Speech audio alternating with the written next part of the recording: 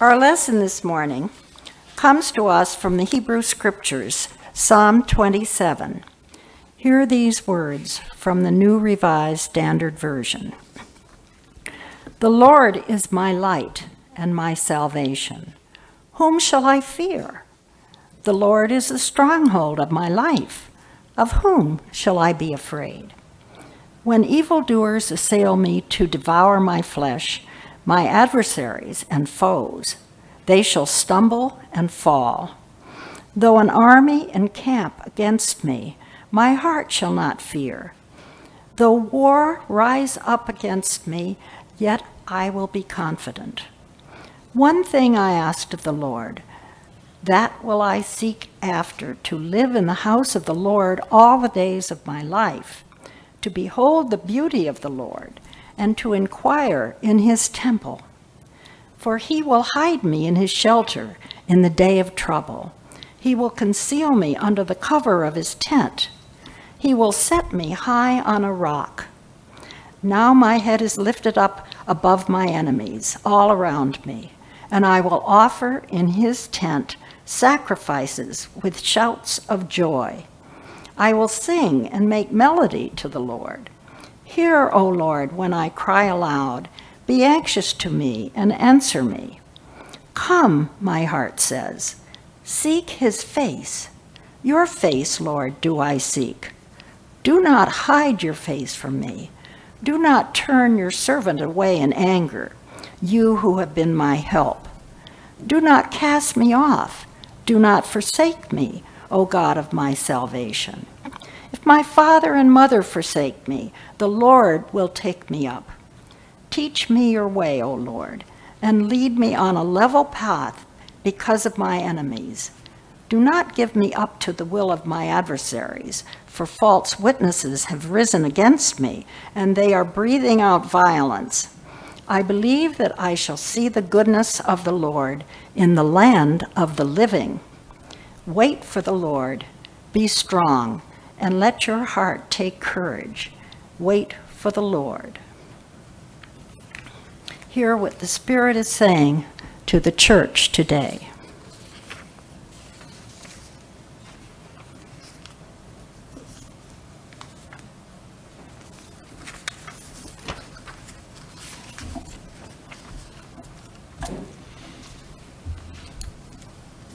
Will you please pray with me? Oh God, come to us in the quietness of this very moment. Center our hearts and our minds on you and you alone.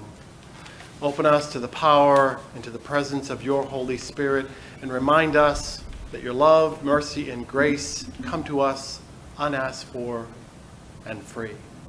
Amen. In a church that I served in Maine, the long-serving organist and choir director who had been in her position for several decades retired just before my arrival. The choir over the years um, was always small in number,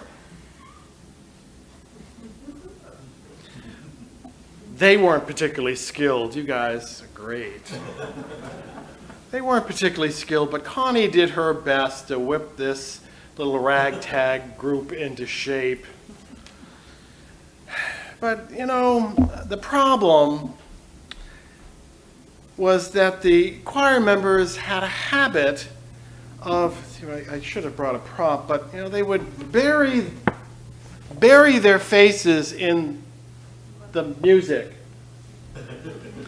And so they weren't looking up to watch for direction. I'm sure that was all that was wrong, but Connie did her best. So I, at her funeral 16 years ago, I told the story that I had heard about the time that she had, had challenged the the choir to sing this, this particularly difficult piece of music. And the choir was behind and the congregation was in front. So as they stood, Connie had put this giant banner on the front pew that said, Look up. You can do it. Look up.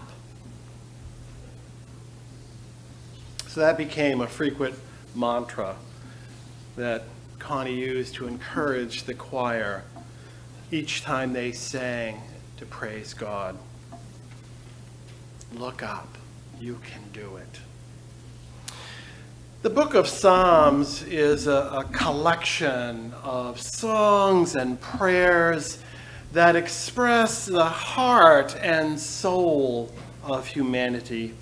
In them, a whole range of emotions, a whole range of human experience are expressed. And the psalmist writers they're pouring out their hearts and their true feelings in these words, reflecting a, a dynamic, powerful, life changing friendship that they had with God. The psalmists confess their sins, they express their doubts, fears, and they ask for God's help in times of trouble pain, distress. And through their words, they express praise in worship. Our text this morning that Jackie just read is Psalm 27. And the author for this, as well as half of the 150 Psalms, is attributed to David, who the Hebrew Scriptures names as the king of the united monarchy of Israel and Judah. Now, he reigned from 1000 to 962 BCE, before the Common Era.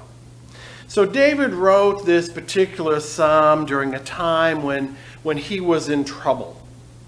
And everything seemed dark for this king who once had been a shepherd boy. Here we see the, the presence of enemies and the, the trauma of false accusations. And the writer is seeking deliverance in order to worship God yet again.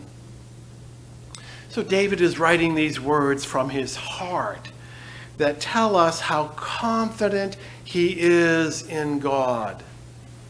He seeks God's blessing. He seeks God's protection. The Lord is my light and my salvation. Whom shall I fear? He writes. Fear. Fear is an unpleasant emotion. It oftentimes is considered a negative emotion. There are things that we all fear whether it's uh, fear of heights or spiders or snakes or flying or dogs or flying dogs, thunder, whatever it is, our, our individual lists of fears are endless, aren't they? Now, for some, maybe one or two things bother us. Uh, for others, there could be a whole list, and for even fewer, it might be a, this list that become debilitating by our fears. Now, universally, the um, function of fear is that kind of that we avoid harm, this kind of fight or flight. Now, whether our fears are, are, are imagined or are real, I mean, for those who are afraid of heights, for example, um, well, we stay away from ladders. I mean, just don't do it. But sometimes we can't avoid. We can't go around. We have these fears right in front of us. There's nothing we can do to get out of it. And so we assess, we plan, we seek partners, and we do the best we can given the circumstances as we face our fears. Now, for people of faith, when we are fearful, we turn to God by reading Scripture, praying, or seeking counsel from others who share our convictions. The psalm is a plea for God to answer the psalmist's prayers, that they remain steadfast. Now, even for the faithful, it is not easy to place our trust in God. One commentator writes In a world teeming with broken relationships, personal disappointments, public scandals, political games, cultural disrespect, and increased terrorist threats, trust is difficult to extend even to God. Now, Psalm 27 gives us help for today, but more importantly, hope. Hope for the future. David says that unwavering confidence in God is an antidote for fear and loneliness.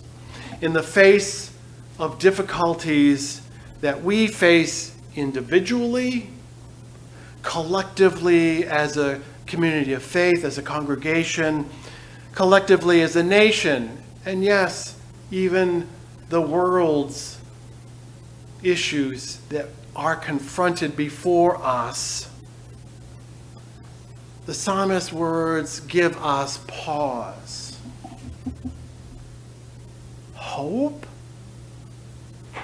Hope? Is there any hope in all that we face, in all that we see?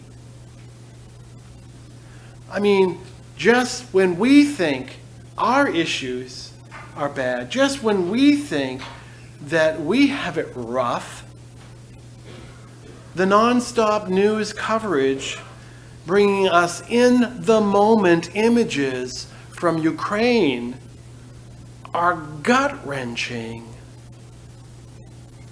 where is the hope amid the bombs, the destruction, the devastation among invading Russian troops in the country of Ukraine? On Transfiguration Sunday two weeks ago, I spoke about thin places where we are just a little bit closer to God and to God's glory. Well, Agnes, Agnes Norfleet writes There are certain passages of Scripture that are especially helpful in transporting us to a special place with God in our time. The words and images of Psalm 27, she writes, leads us to such a place, a kind of thin place where human and divine meet in a beautiful closeness. Now, I mentioned last week that Barbara Brown Taylor, her calling Lent 40 days to remember what it is like to live by the grace of God alone and not by what we can supply for ourselves. So today's psalm does not say to us that we will not face difficulties fears, loneliness, or troubles in our lives. Rather, when troubles come, and they will, when troubles come, we can be assured of God's presence. That's what Lent for us is all about. Is our pausing, being cognizant, being aware, and looking for God's presence right before our very eyes. So there is hope. While we normally associate hope in the season of Advent, you recall the, the second Sunday in Advent is hope we, as a people of faith, live in expectant hope of God's presence in our lives and in the world. Hope begins with the recognition that the world currently as it is, it is not how it should be or is intended to be. And so while we grieve at the death and destruction for the people of, of Ukraine and what they are facing right now, we are a people of hope for a better world. As we offer our prayers, as we offer our, our time toward an effort for relief, as we bring about our talents on how we might be able to do something,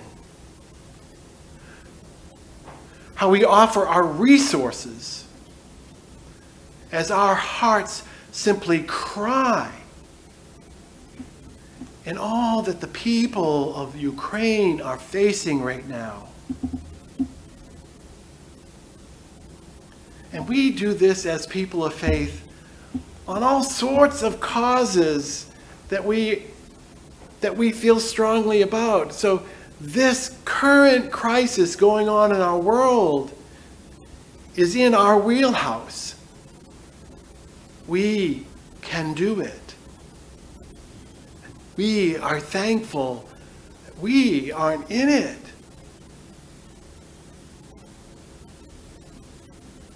Connie Schultz, the syndicated columnist, writes We love, so we grieve for the people of Ukraine.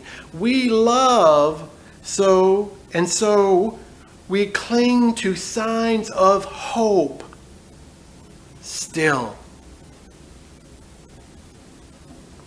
Wouldn't it be so easy to be overwhelmed with our fears and doubts and pains that each and every one of us face each and every day?